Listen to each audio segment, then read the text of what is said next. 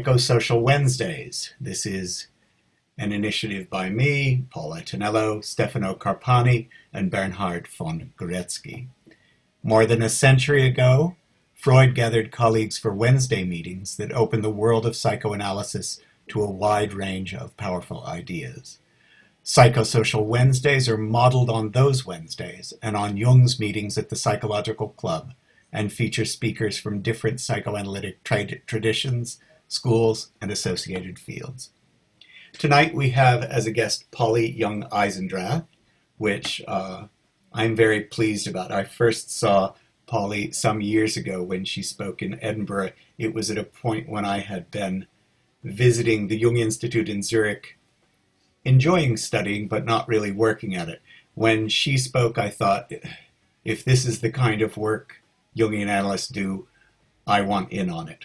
So, uh, very grateful to see her here. She's going to speak about the meaning of contagion, masks, toxins, and the fear of infection. So, welcome, Polly, and I'll let you start.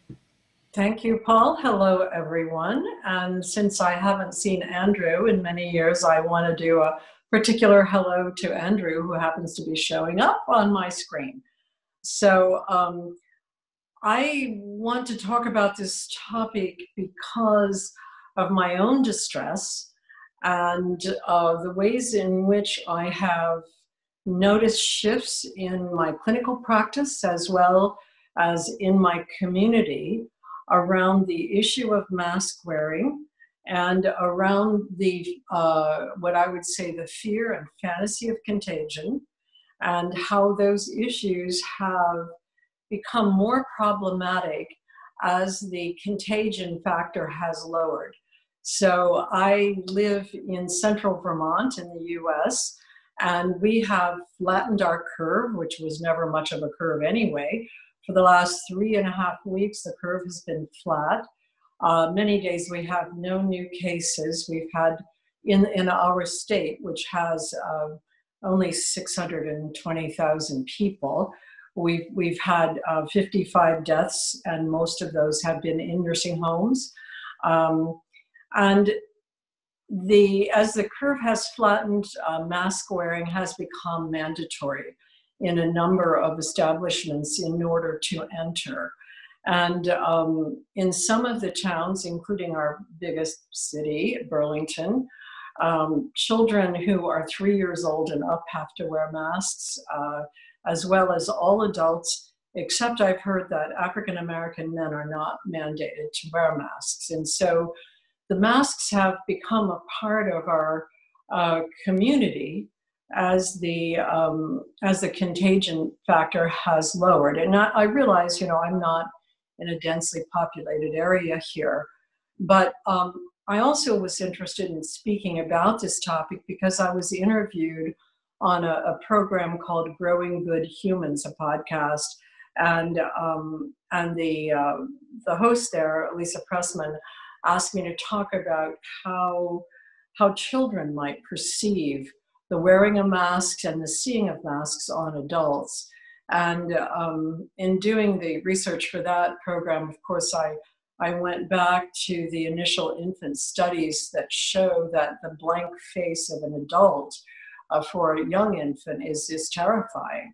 And so the way that ch- children look at grown ups wearing masks is really very different than the ways that we look at each other, perhaps. So, um, there are several things I want to sketch out in the beginning, and then I'd like to take some questions and kind of move back and forth between um, my thoughts and your thoughts and your questions. So, uh, you know, I'm, I'm just going to say this as a review, but I always think it's worth saying that a great deal of our communication takes place unconsciously. We know also that we are fundamentally uh, unconscious as beings. Of course, Jung thought that without all of the measurements, but uh, now the neuroscientists say 95% to 99% unconscious. What that means is that we simply do things in an automatic way. Uh, like, for example, you get into your car and then you arrive at home and you can't really remember driving home at all. Um, so we have very bad working memories, and our memories, which there are five different kinds of memories in humans in different parts of the brain. The memories, uh, the memory systems we have conflict as well. Um, so a lot of our communication takes place through gestures, signals, tone of voice implication. Uh, actually, very little through language and very little is remembered from what people say. It's much more the way they look and also the tone of voice. Now, these things are probably obvious if you're if you're a therapist or an analyst, you you know this material already, but I like to remember it because it enters into the issues that we're going to be talking about today. Um, the way that I understand projective identification, um, and we could say also Jung's idea of the participation mystique, uh, is that there's a sort of an emotional kidnapping of one person by another. Sometimes it's very subtle. It happens all the time in ordinary communication, and the other person plays out whatever that kidnapping is about, maybe without not even knowing it.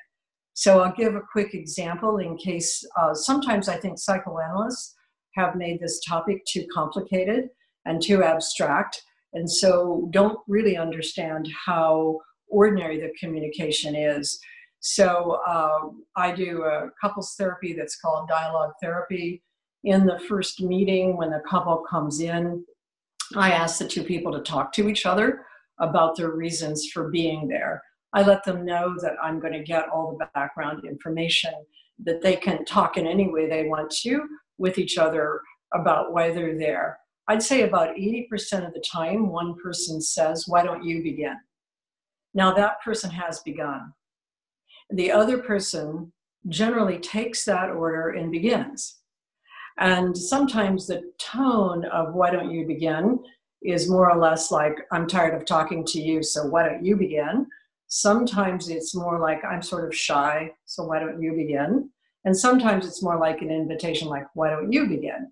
But in any case, it's confusing because the person who's speaking has begun and has essentially given an order to the other person who then typically obeys and carries out that order and begins, even if they're a little flustered or so the projective identification there is that one person has implied, I'm taking control and you should listen and do it, and the other person does it. And then there may be still more blowback between the two people because of that moment. Uh, sometimes there is, and sometimes there isn't. Um, so in ordinary life, there are many times when we direct others to carry aspects of ourselves or we want them to carry out something that we you know imagine they're thinking or feeling. And then once they do it we confirm that they've done it. And uh, if if this is an ongoing relationship uh, like a couple relationship or uh, adult child and a parent siblings friends adults particularly, uh, there can be a repetitive quality to chronic projective identification where one individual is projecting something, the other one is playing it out, and then is also going in the other direction. So there's evoking, projecting, identifying, and that's taking place often outside of words, outside of awareness, even often. Um, and this makes um, you know communication very complicated for human beings. Um, and uh, there's one other little piece i want to just mention in regard to this. Um, as uh, yuval harari points out multiple times in sapiens uh, we as human beings uh, operate a lot on what he calls fiction. That is we talk about what is not present what we what is not in the room, what we're not doing. Um, and other animals, while they have complex language, cannot do that. So I can say, I saw Joe this morning and he was with your wife, but the higher apes can only say something like, pass the banana. Uh, they can't talk about Joe and his wife. So that gives us lots and lots of levels of meaning in which we are exchanging uh, implied ideas or emotional meanings outside of what we're actually talking about going on in any moment. So um, when it and oh, and then the other thing that I wanted to mention is um, the collective unconscious. So over the years, I have had different sorts of understandings of Jung's collective unconscious, and I've kind of settled on um, the idea that is a part of Yogacara Buddhism.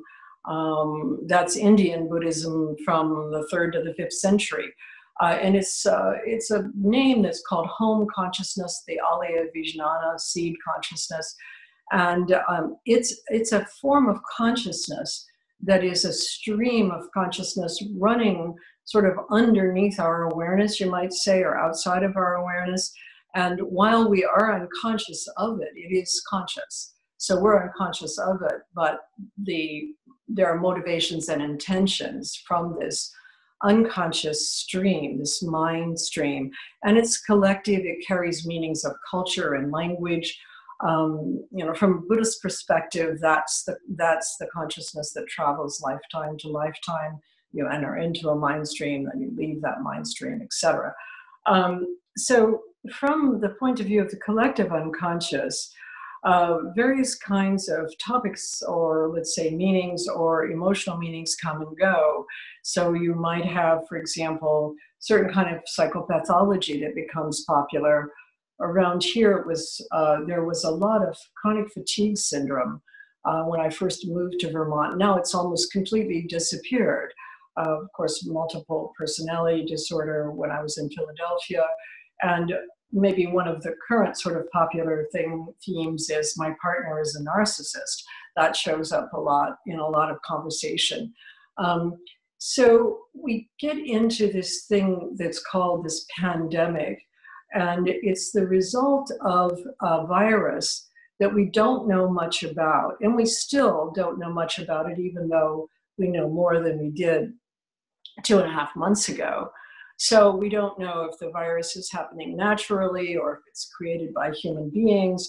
Um, and there's a lot of panic instilled in uh, our media and also in our communications with each other as soon as we come to hear about the idea that this virus is highly contagious. When we first heard about this, um, I wrote a Psychology Today blog uh, called um, uh, taking a pause. And in it, I mentioned that I was uncertain myself about why we were asked to be to stay at home and everything was closing, the schools were closing, and um, and the way I wrote that, Psychology Today wrote back to me and said they wanted to edit it out because it made it confusing as to what people should do. I, I wasn't questioning what people should do. I was simply raising my own question about not knowing why we were being directed as we were being directed. So immediately I knew there was something in the collective unconscious that I was activating by even sort of making the comment that I was here. I am in Vermont, sitting in central Vermont. I, at that point, uh, wasn't afraid of the virus. Um, and I was, um, I'd also just come back from Barcelona where I'd seen a lot of Chinese people and I had gotten sick. And, but at, at that point, the symptoms I had um, didn't meet the um, symptoms that were being listed by the World Health Organization. Anyway, I, I realized even when I wrote that first blog that there was something about the idea that we were supposed to be afraid and we were supposed to shut down that was that was coming into the collective mind um, so I, I started thinking about contagion at that point. And I, I realized, and with kind of a, a kind of a startle reaction one morning, early in the morning, that number one, a lot of our rights were being taken away, particularly the right to assemble, um, and also that they were being taken away because of the idea of contagion. And then I recognized that in almost all of the sort of terrible project, projects of humanity, from Holocaust to witch hunts, the others were always contaminated. They were always contagious. And they had toxins that, uh, that we had to protect ourselves against. So either we had to round them up and put them somewhere, or we had to cover them up in some way. And then I began to think of burqas and other kinds of body coverings for women because women communicate something by their very being and they're walking down the street and that's contagious to men and so you have to cover up so that they don't the men don't pick up on signals that are unwanted so i just started sort of riffing in my own mind on um, on contagion. And um, and then that led me eventually to recognize that we were we were set up in this whole sort of framework. And i don't think this was an, unten- an intentional setup i truly don't. I think it was unintentional and yet it got picked up and used. We were set up to moralize about this illness and to moralize about who is the bad one and who is the good one and um, where I live, because there was there's really no one that I mean I know some people through some people who have had um, who have had SARS, um, but no one I I know personally, unless I did, I don't know. But I I didn't know people to avoid, but I began to see that there were going to be other ways of sorting people out. We started out with social distancing. Um, a number of times I walked into shops where somebody told me to back up, and I was more than six feet away from them. And um, and then, you know, through just watching how that was happening, and recognizing there's an archetype that is associated with being contaminated, um, I was wondering what was going to happen next. And that's when the mask wearing kind of came into um, the um, at first it was a suggestion here in Vermont, and then it began to be mandated, particularly at the co-op where I shop.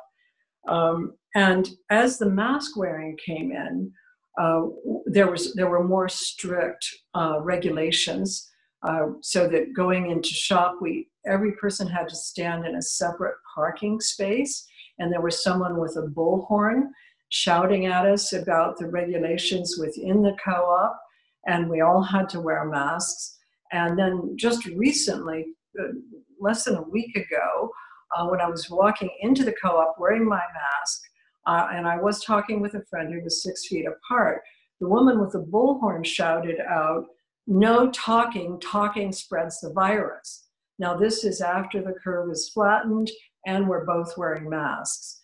And so I knew at that point that things had gotten to this point of um, a kind of a, a fascist like feeling about the mask wearing, about the communication, and in particularly the spaces where I might have previously been pretty relaxed, which would be shopping at my co op.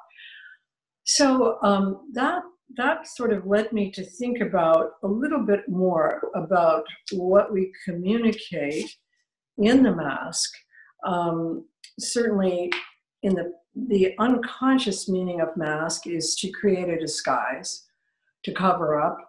Um, in um, usually here in North America, no one would wear a mask except at Halloween or Carnival, those kinds of events. And um, in looking up the research that uh, that has been done, and there have been double-blind studies. I didn't know that, but in dental health, um, you can look them up yourself on wearing the N95 mask, which is the most protective mask.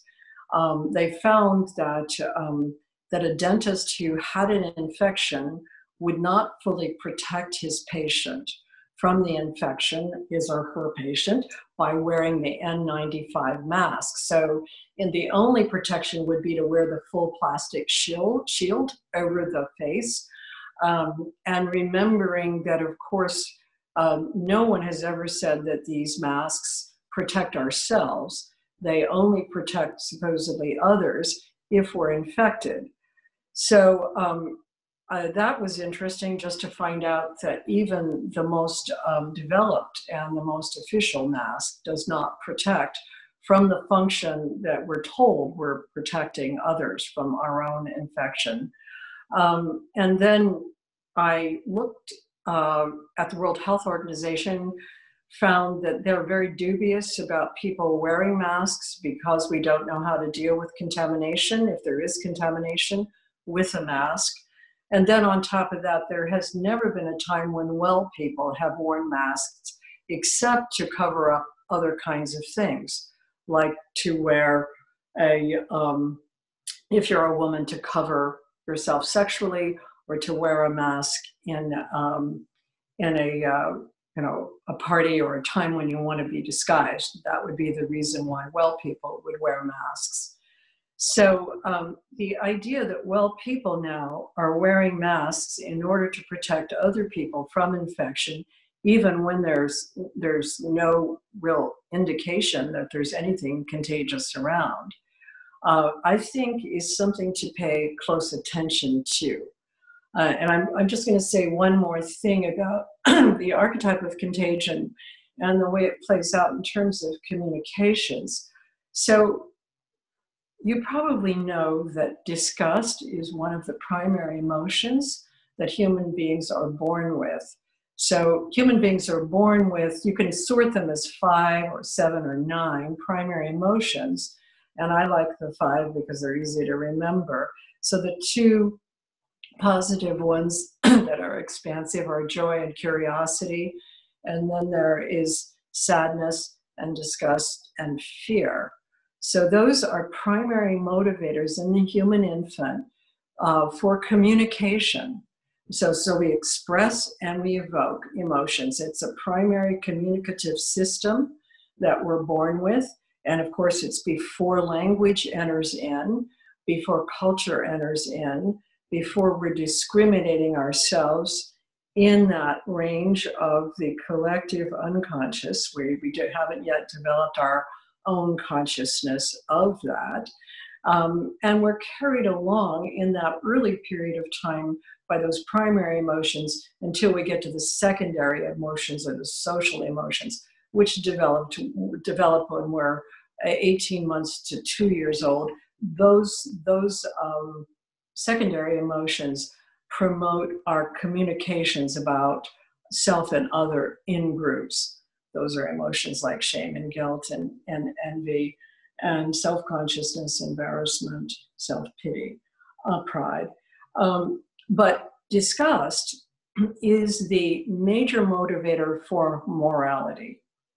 And it actually is the revulsion that the human infant feels um, when in contact with something that's toxic or dangerously toxic. So that pulling back and revulsion eventually organizes into our sense of morality, of things that we can trust and move towards, or things that motivate us to back off in disgust uh, or in revulsion. So, contagion obviously is highly motivating for feelings of disgust and also um, self protection. Uh, the mask wearing, I found, has kind of sorted itself into a certain kind of language, at least in my community. Um, and uh, as I have figured out the language, it seems to be that wearing a mask means that you are virtuous and compliant and not wearing a mask means that you are not virtuous and not compliant. Um, now, in different communities, I think there may be different variations on the mask and not the mask.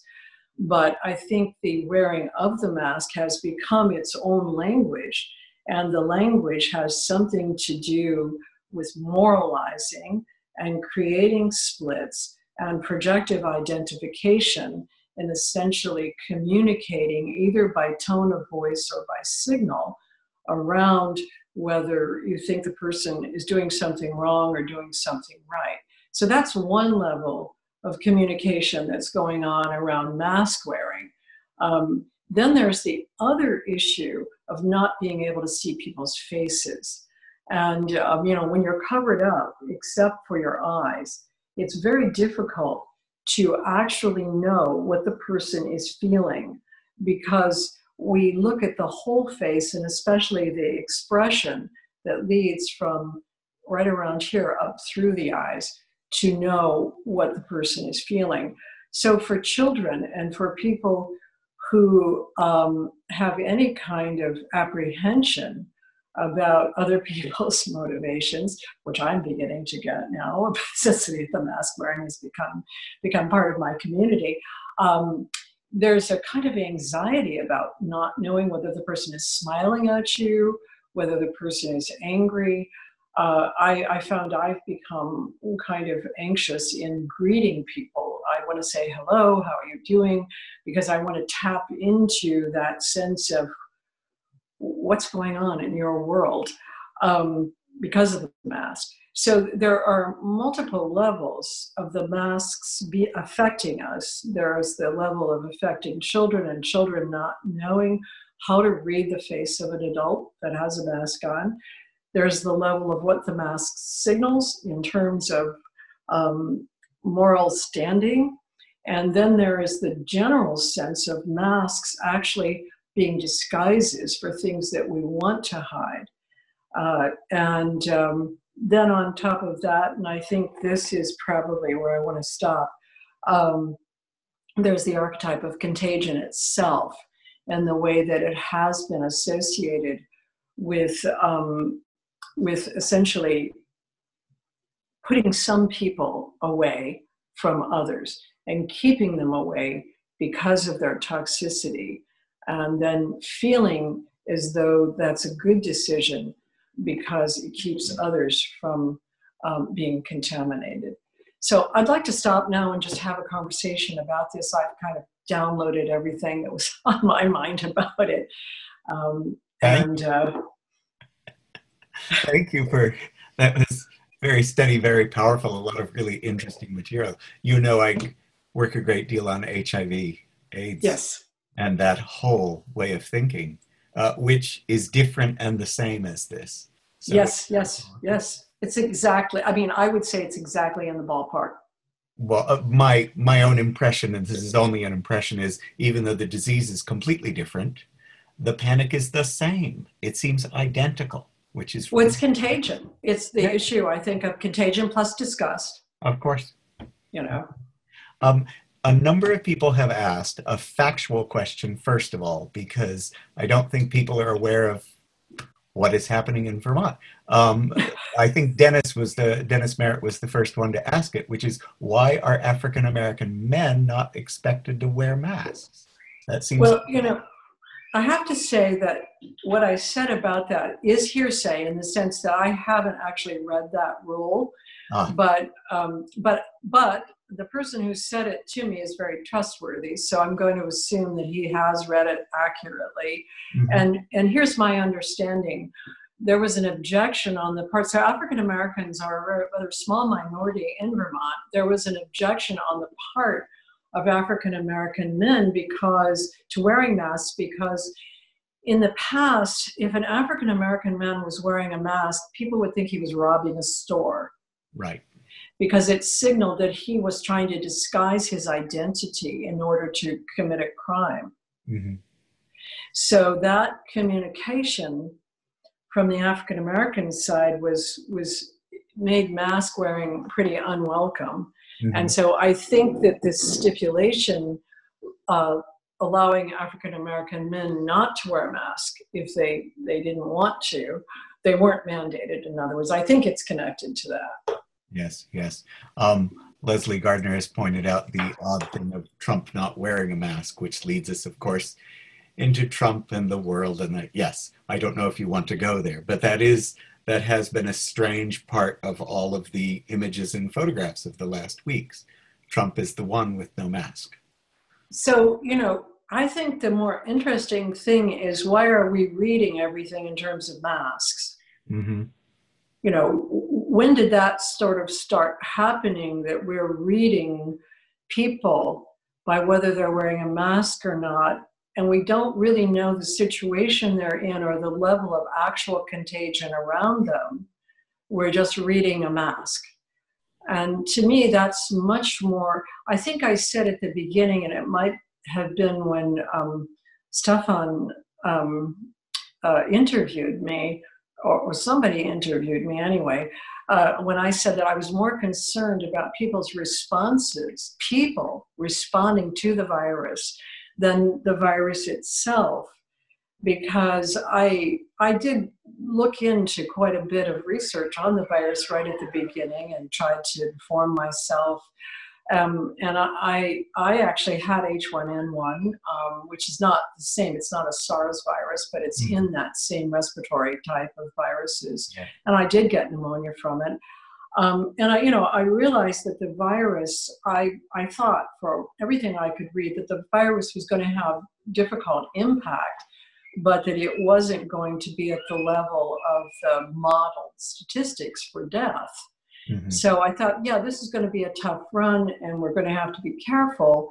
But I'm more concerned about what's happening with this virus, with the panic and the, the sense right away that, you know, we have to shut things down and we have to wear masks because I knew that right away there was a creation of an us and them about the virus that was very strong. And plus the fact that I had just been in Barcelona on Chinese New Year's and I'd been in a customs line with maybe it was I don't know hundreds of Chinese people, maybe a thousand Chinese people in a long customs line that was three hours long. Some people were wearing masks, some weren't. I was I knew about the virus at that point. I think it was January 28th. Mm-hmm. But I was thinking, okay, you know, I didn't wear a mask. I sort of thought, well, I get the virus, I get the virus, you know, I'm here on Chinese New Year's. I don't know, somehow I was measuring something called risk against something called benefit and I wanted to have a good time. Mm-hmm. And it seems that now risk has gotten really heightened. And the benefits of us, say, assembling or communicating openly with each other, those benefits haven't really entered into the conversation. And I'm just going to bring one other piece in here because I forgot to say it.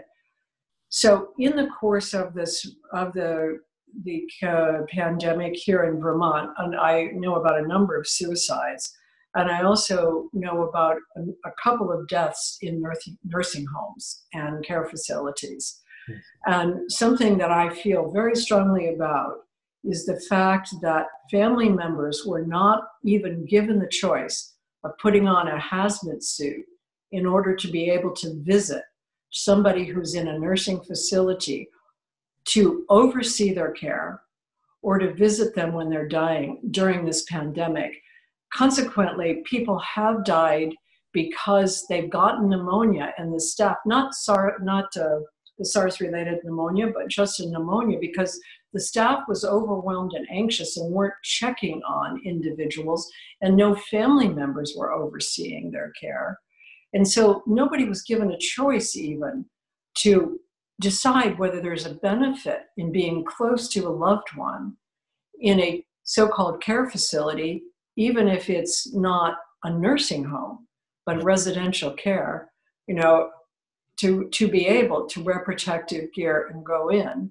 So we decided no, those people are going to be considered off limits. Um, so that's the kind of risk benefit analysis that seemed to go out the window um, you know, as soon as we came in with the idea of contagion, and then we began to read masks, and that started, you know, a whole other conversation. So I went a bit off on a sidebar there, but I wanted to bring in.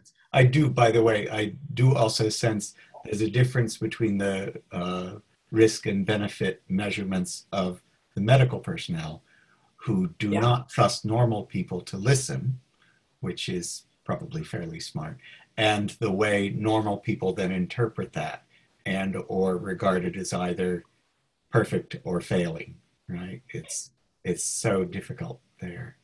Well, that's in the nature of contagion also. I mean, as soon as you introduce the idea of contagion, people become afraid and they're going to react through more disgust. They're going to be motivated to, you know, protect themselves and also to move away from uh, anyone who is thought to be in the contagious group, whether or not that person is in the contagious group. Um, and, you know, it is true that the World Health Organization did not take a position on mandatory mask, mask wearing. And it's also true that there's never been a double blind study or any study of well people wearing masks. But there were a lot of medical people who commented in newspapers about, well, that might be okay to wear a mask. But what I've often heard is, well, okay, maybe it really doesn't protect anybody, but what does it hurt anybody to wear a mask? Mm-hmm. And I would say yes. Okay. I think it can. I think it can. I think it sets up a kind of false communication, and that I think we're pretty motivated as humans to um, to moralize and to deal with the issues of purity and impurity. Mm-hmm. And I think we love to jump on something that goes in that direction because we assume we protect ourselves that way. Yes. And again, I think these are archetypes. You know, I don't think these are individual issues. I mean, some individuals take it further than others, but um, because you know, if you if you tend to be sort of a paranoid person, or you in sort of a paranoid schizoid state, you might take it a little further. But I do think all of us have to be careful not to use that sense of us and them because it's right there always. Yeah. You know, and um, so yes, I so I think that wearing masks needs to have a much more complicated conversation than what we're having, uh, recognizing that scientifically it doesn't carry any water at all. Now, if you're if you're working in a place where there is contagion, you should probably wear complete protection, mm-hmm. not a mask. That's what comes out of the research on masks. There are a couple of rather dense comment questions, if I may. Let me sure. hear the first one. This is, um, pardon me, they're moving rather fast now. Arg. Ah, technology.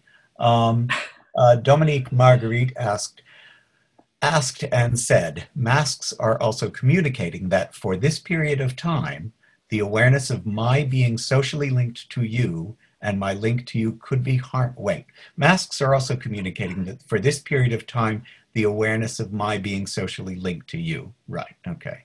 And my link to you could be harmful, and I will wear a mask to minimize that. Is that anything to I, I, I think she's correct. I think she's mm-hmm. correct because, again, the idea is I am so again, we have to kind of think of the the I like I'd like to think about this wearing disguises for women, particularly because I had a long conversation once when I was in Thailand, while I was participating in a conversation with Buddhist monks about why women can't even brush past their robes or uh, come into certain monasteries. The idea wasn't was not that the monks had something in their own eyes that made it difficult to look at a woman. Mm-hmm. The idea was that the woman brought in with her this kind of disturbance to the monks, that she brought in with her this seductiveness, or she brought in with her this sort of atmosphere of something that stirs up the monks. So, covering up the woman, keeping her away, is the way we'll handle this. It's not in my, it's not in their eyes. It's in her body. It's that same idea. Yes. You cover it up because it's in you that you're protecting others from what is troubling or bad.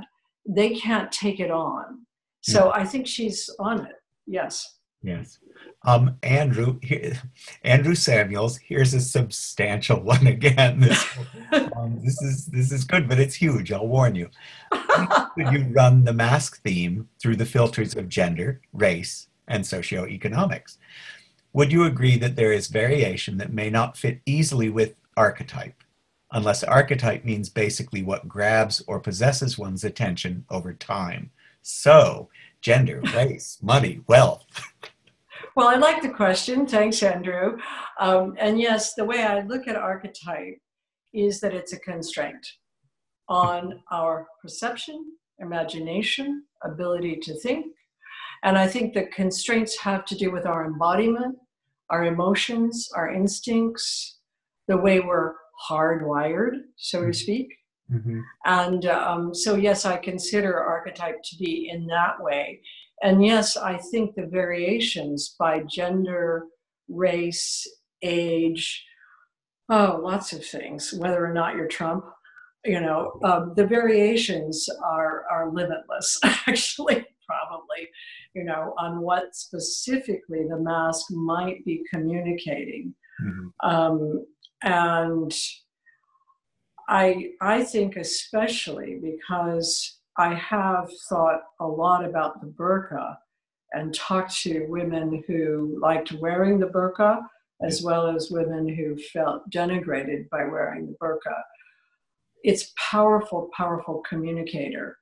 And it almost always means um, covering up what is too difficult for you to handle and mm. or you know if the woman likes wearing it it's like i'm covering it up so you don't even have to interact with me because mm-hmm. i don't even want to interact um, but if she's made to cover it up then she feels like i have to cover this up because it's too hard for others to deal with it so yes there are lots of variations for the black man it might be you know i'm robbing the convenience store for the woman, it might mean something else. For the child, it might mean a sort of frightening to see faces without knowing what the motivations are from those faces because most of the face is hidden. Sure. Um, but I think it's a strong communication for everybody. And whether it has conscious meaning like virtuous or not virtuous or whatever, I think there's unconscious meaning that's going on at the same time. Um, and I think that unconscious meaning is further stirring our anxieties about our situation. Mm-hmm. And uh, I find that people are more anxious now that we know something about the virus and that the curve the curve is flattened here. And I have people who don't. I have a couple of people that don't want to come out to come to therapy mm-hmm. because they have adapted to staying at home. And then I have, you know, I saw a couple where the, couple came in wearing masks. They had asked me to wear a mask. And I said, Look, I'll wear the mask, but you guys live together. I'm not afraid of you, and I need to read your faces. So I'm not going to allow you to wear a mask. And they were thrown by that. Okay. I mean, it doesn't make any sense, folks. you know, it's like they live together. I needed to read their faces. The mm protection would have been from whatever I might have to them, mm but they were feeling comfortable wearing masks. Mm-hmm. Mm-hmm.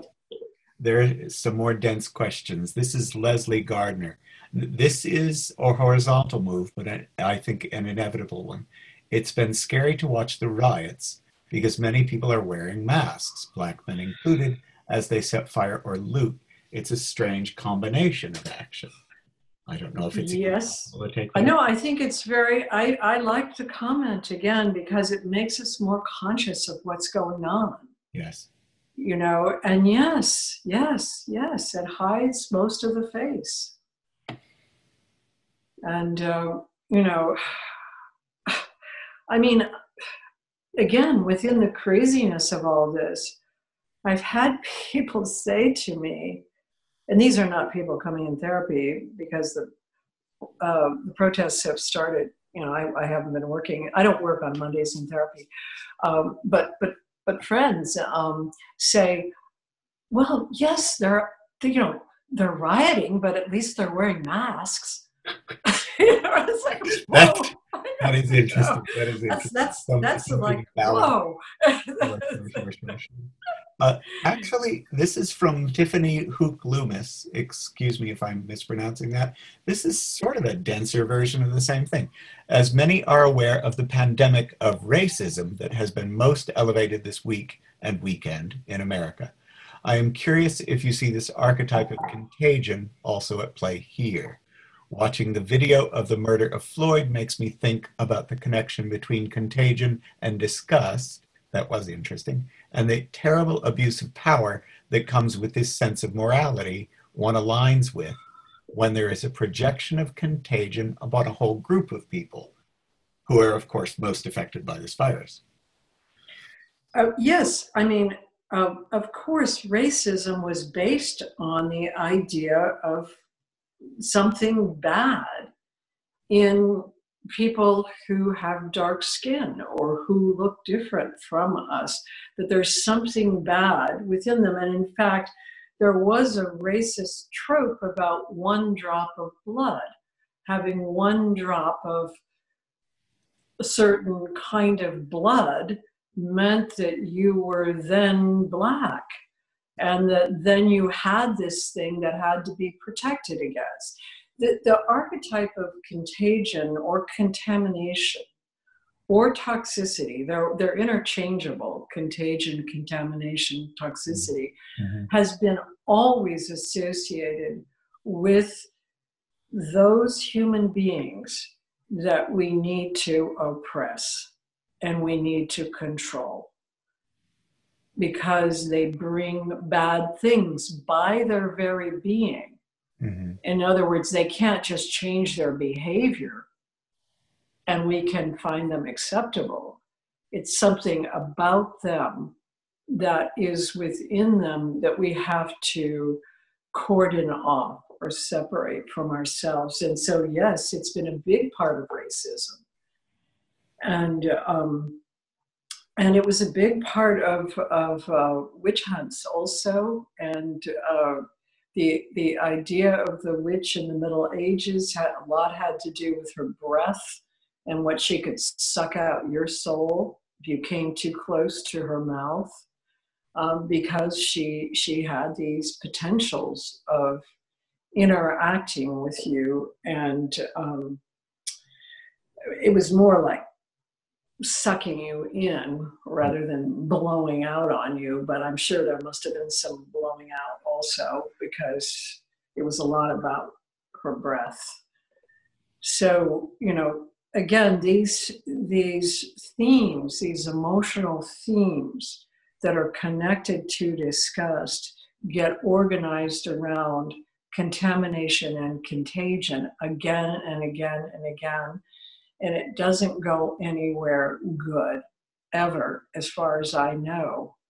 And the you know the real concern i have right now is the fact that the mask itself doesn't have any science behind it is more mandated and more of a signal now that at least where i live that the curve is flattened. In other words now that there's less concern about the actual virus the desire to wear the mask seems to has have increased.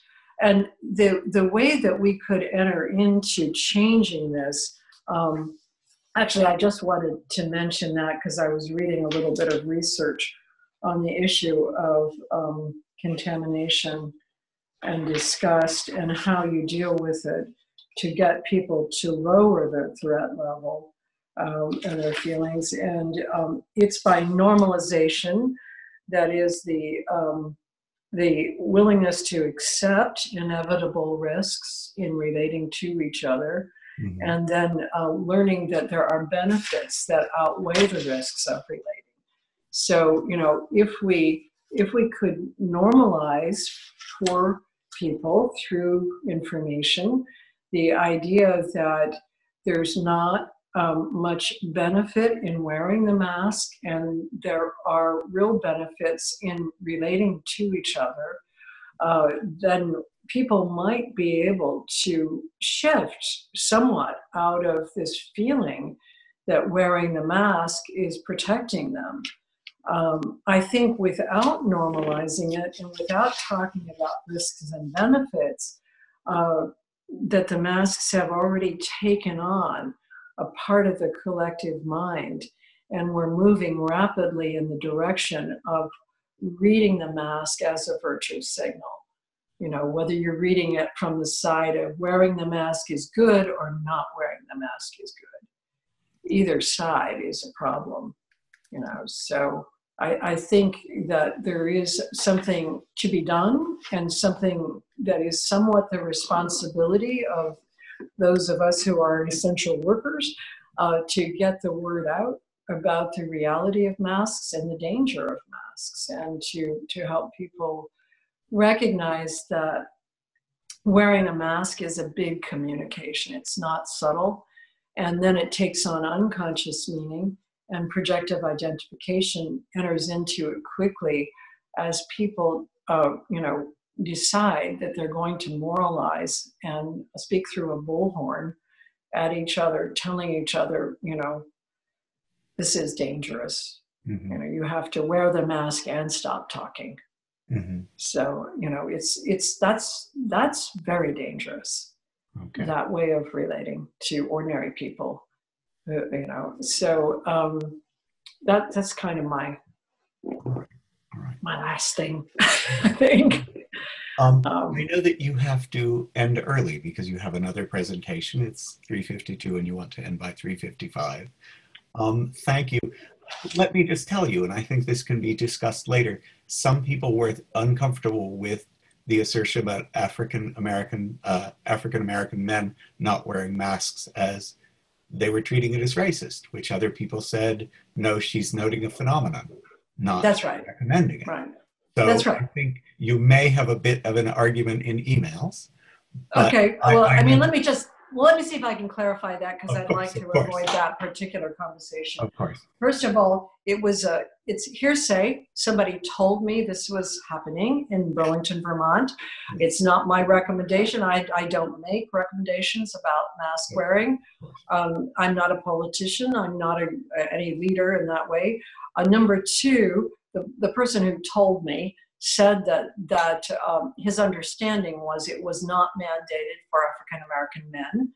And uh, my understanding, again, this is just based on my uh, my understanding of the issue for African American men that they had objected themselves mm-hmm. to wearing masks because of the social signal. This is oh, not my this is not my theory. This is not my idea. I'm not an African American man, and um, you know I, I only brought it up because I think that the complexity of mask wearing is an issue across many different populations. Yes. The meaning of it, you know. Absolutely. I hope that's clear now. Yes, I, I think so. Okay. We'll see what comes in emails, but it's clear to many people. So thank you very much. A wonderful talk. Um, uh, we do have a launch of the book Breakfast at Kusnacht this Wednesday at this time. And then we'll see Andrew Samuels in a little more than two weeks. We'll return to our normal Wednesday. Thank you so much for speaking to us. And let, I want to let you go because I know you have other work to do. It is wonderful to see you. Thank it was lovely to be here and lovely to see friends. Thank you so much. Fantastic. Fantastic. Lovely. I wish we had applause. Take care. have a good evening. Thank you.